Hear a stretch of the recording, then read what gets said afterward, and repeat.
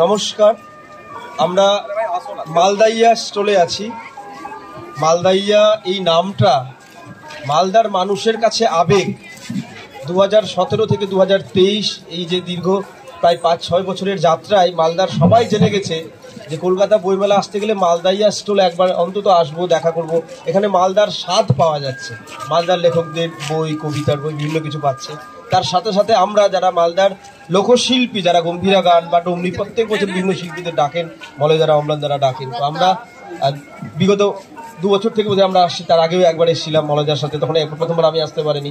এই যে স্মৃতি, চার পাঁচবার আমরা আসা হয়ে গেল। এই যে মালদাইয়ার নামের সাথে সাথে মালদের মালদার মানুষদের যে তুলে ধরার একটা প্রয়াস ওনারা নিয়েছেন তার জন্য আমরা ফতেপুর গম্ভীরা দল ধন্যবাদ জানাচ্ছি।